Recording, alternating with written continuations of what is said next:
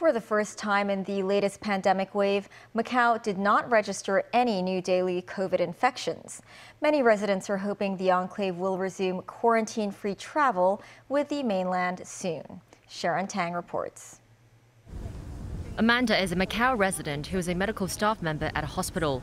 She lives with her family in Hengqin in Zhuhai, but has been staying in a hotel in Macau since the outbreak began because she couldn't travel between the two places on the same day. That also led to her being separated from her family, including her two daughters, whom she hasn't seen since June. Amanda plans to take leave next month and book a quarantine hotel in advance so she can reunite with her family after a seven day isolation period. However, she hopes quarantine free travel can resume soon so she could see her daughters again and dine out with them. This Macau resident also lives in Zhuhai. Last month, he traveled to Macau with his wife for a pregnancy checkup but has been stranded because of the spread of virus in Macau. He said, I work on the mainland and I couldn't go back now. The man added he hasn't been able to book a quarantine hotel for days and it's causing much trouble for him and his pregnant wife.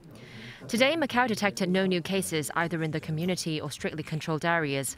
If infections continue to remain low until next Tuesday, certain measures will be able to be relaxed, including the resumption of dine-in services. Still, the enclave said there's no timeline yet for when quarantine-free travel between Zhuhai and Macau can get back underway. Starting June 29th, those who travel to Zhuhai from Macau must hold proof of a negative test result valid for one day and a quarantine hotel booking confirmation. They're also subject to seven days of quarantine and three days of medical observation at home. Sharon Tang, TVB News.